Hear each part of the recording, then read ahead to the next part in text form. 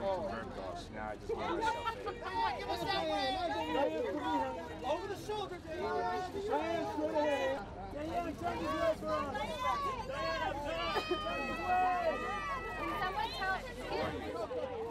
Of course.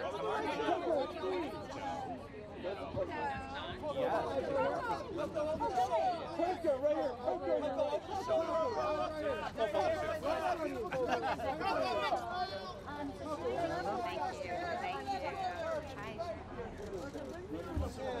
I think when I do a project with Cornelia Guest, Paris, Mickey, and Brody, we grew up hearing Diane and the old studio for 54 days.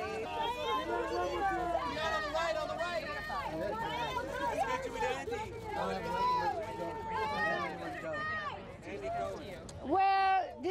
first time that I ever honored the wrap dress, and she did so much for me. She made me famous. She paid for all my bills. So tonight we celebrate the wrap dress. And You created this in your 20s, is that right? In the 20s, and I'm no longer in my 20s.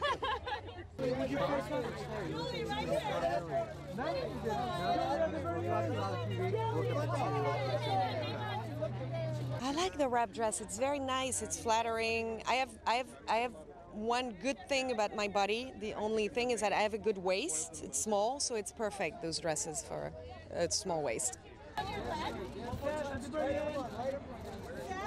Nice together at the end, please. Would you turn. Are you No, we're very we're two very fashionable people. Yeah. Is your cup of tea? Uh, this is always my DVF's my cup of tea. Like she's a she is so much more than just fashion. She's such a uh, incredible, forward-thinking woman, and every time we run into her in New York, we're just so happy to spend time with her. So we're just here to support someone we're a big fan of. Um,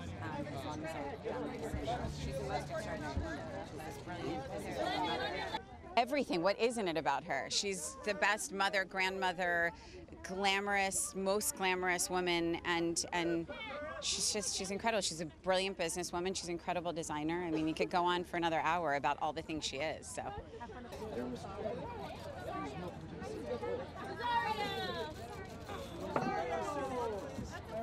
Rosario. Right here. Molly, over the shoulder. Over that shoulder. Beautiful.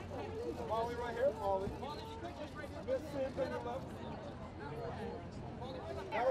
But when I do get married, I will talk to them about dress designing me a beautiful wedding gown because I love everything